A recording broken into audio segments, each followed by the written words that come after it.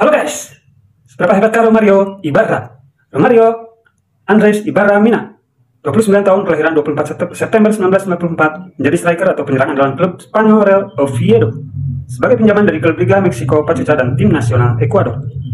Pemilik bernomor punggung 22 ini memiliki tinggi badan 175 cm dengan kaki dominannya adalah kaki kanan.